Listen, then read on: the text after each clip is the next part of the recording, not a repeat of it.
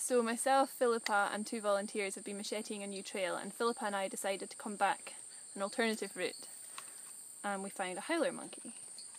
But something really really weird has happened and it's a baby howler monkey and now it's here. We're going to have to do some investigating but it's clearly been a pet. Here is the story of how I came to have a baby monkey on my lap in the rainforest. Initially, we were just excited to see a red howler monkey. We don't see them every day, and to see one this close up and this low down in the trees was really quite something. However, it soon became apparent that this monkey was a little more brave than it should be. He was very inquisitive, playing only around a metre above my head, and when I began to move away from him, he tried to follow me, and as you can see here, he even came down to the ground, albeit accidentally.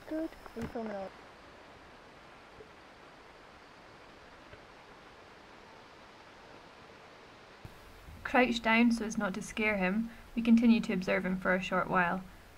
It soon became apparent that our suspicions that he had been a pet were founded when this happened.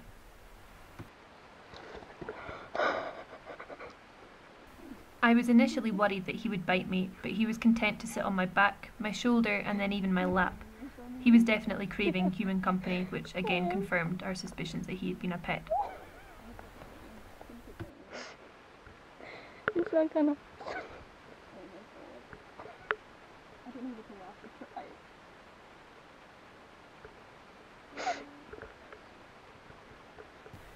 You can hear Philippa and I laugh occasionally in this video.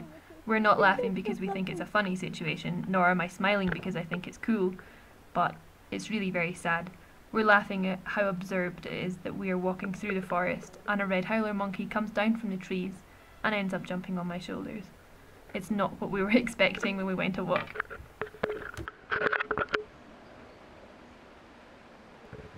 At one point some macaws fly over, startling the monkey who jumps off my lap and hides underneath a tree.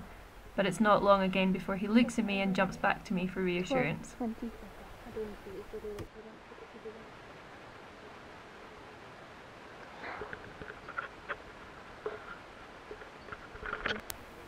By this point, perhaps 10 or 15 minutes had passed and I decided that we ought to leave.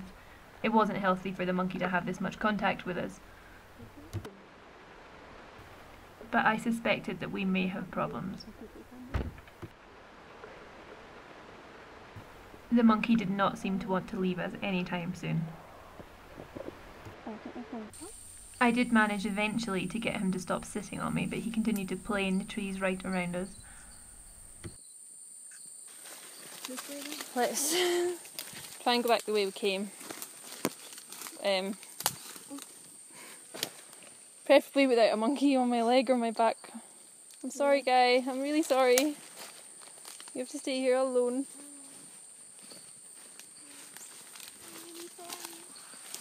Bye. No, no, no, no, no. This is what's going to happen, isn't it?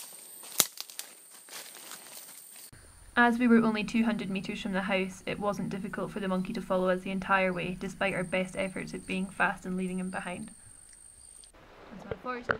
We're walking into camp with a monkey that we found in the forest. Just, you know, normal day in the mammoth team. Laddie? Laddie? No. Ah, ay. Vamos, Daniel. Ay, dale.